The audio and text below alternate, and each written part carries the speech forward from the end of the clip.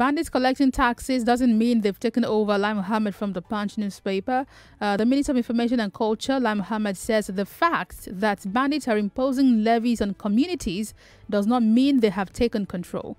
Mohammed said this during a press conference in Abuja on Thursday while reacting to an article by The Economist magazine titled Insurgency, Secessionism and Banditry Threaten Nigeria. Uh, Mohammed argued that imposing levies does not mean that the criminals are in charge, adding that it takes it takes place in many parts of the country, including the south, where touts, commonly referred to as area boys, also impose levies. Let me quote him word for word according to the Punch.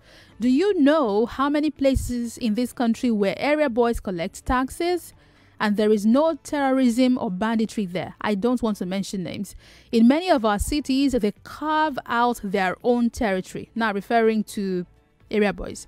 So it is not indicative of the of the bandits having taken over. Rules are not uh, the same as terrorists that kill, that maim, that destroy cities. They cannot be compared.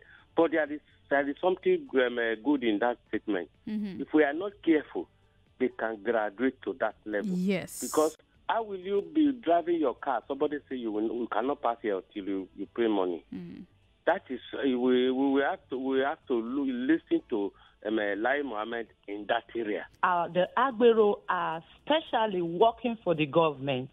Mm. You understand? They issue you tickets, and the ticket is coming from where? Where is it coming from?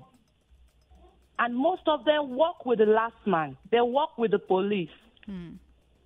And they dictate how much to be collected for the motorists. These people in the evening, they give their chairman money. They go and remit money to all these people. So the Agberos, you can trace them. You can hold them responsible. There are people that are in charge of them that you can hold responsible for mm. them. One of the fastest signs of a failing state, mm. right, is when people begin to carve out sections of that state for their own control.